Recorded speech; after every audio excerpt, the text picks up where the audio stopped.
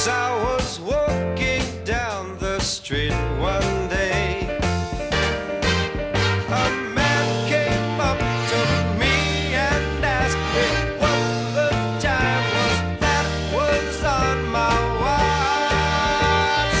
Yeah, I said, Does anybody really know what time it is?